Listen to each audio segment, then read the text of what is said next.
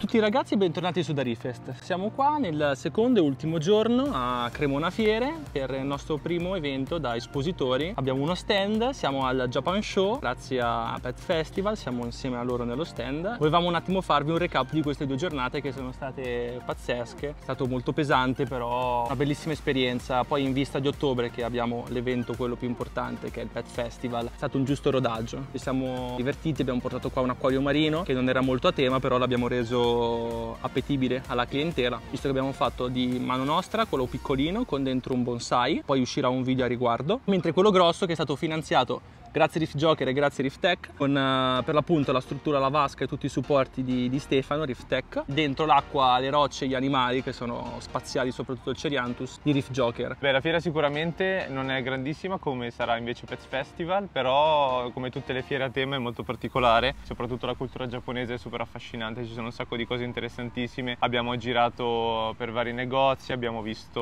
bonsai, un sacco di kokedama, di, anche di workshop dove li facevano perché facevano fare anche kokedama alle persone, un sacco di animali interessanti, c'è stata Italian Koi Expo dove abbiamo visto un sacco di, di esemplari di carpa bellissimi, abbiamo visto anche l'esemplare che ha vinto. Comunque una fiera tutta da record perché c'erano tantissimi animali premiati, pluripremiati partendo dai cani oppure per, per queste carpe qua. Più abbiamo visto un sacco di oggetti inanimati che fanno parte della collezione del consolato giapponese abbiamo avuto la fortuna di, di poter ammirare dato che sono stati portati qua da, per il console sole giapponese. È venuto qui, ha fatto l'inaugurazione, ha fatto il taglio del nastro sabato mattina, quindi il primo giorno in mattinata. È stato anche molto bello vedere questo tipo di cerimonia. Inoltre anche il pranzo ovviamente era tema giapponese, quindi ho preso una pizza. Per quanto riguarda la nostra esperienza in particolare, eh, visto che avevamo solo l'acquario marino da poter portare, non avevamo una grande utenza, però abbiamo trovato tanti appassionati di, di acquariologia, non molti del marino, però sicuramente sarà un altro livello a, a ottobre, quando speriamo di incontrare molti di voi comunque molte persone che,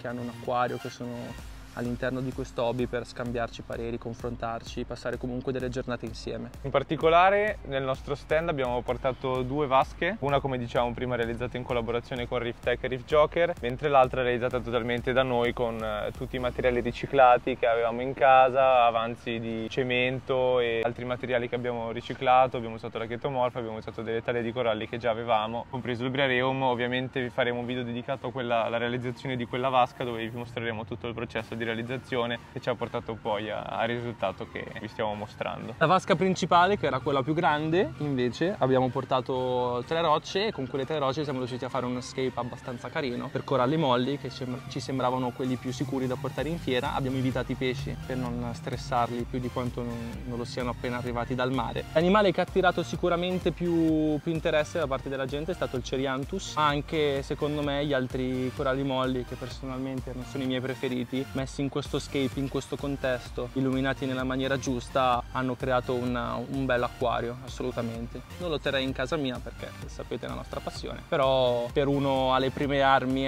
una, questo potrebbe essere un buon risultato. Come esperienza è stata super gradevole, un caldo tremendo, infatti a ottobre speriamo non faccia così caldo, ma se ci saranno 32 gradi a ottobre ci sarà qualcosa che non funziona. In ogni caso ci rivediamo a Pets Festival a ottobre, ovviamente noi ci vedremo con altri video nel mentre. Vi ricordiamo come sempre di seguirci su tutte le nostre pagine social, quindi Instagram, YouTube e Facebook e noi ci rivediamo al prossimo video.